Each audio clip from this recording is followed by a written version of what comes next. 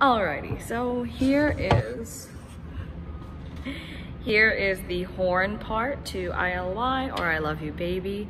You can use this to practice and hear the pitches that you are going to be playing. You can also use this and I'll show you in the timestamps where to start.